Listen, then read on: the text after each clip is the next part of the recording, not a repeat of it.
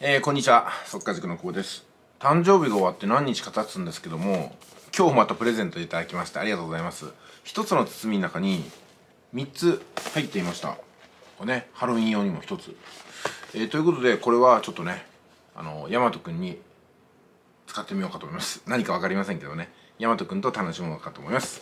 これはねなんかこう半生菓子ということでおしゃれなねやっぱ女性が選んでくださっただけはあるなというものでございます、まあ、お菓子ということなんで私がねさらにこう20顎になる30顎になることを期待してらっしゃると思いますんでそうはいきません。私もね肉体バリッと作って太らない体になっておりますんで甘いものどんどんいいても全く太りません。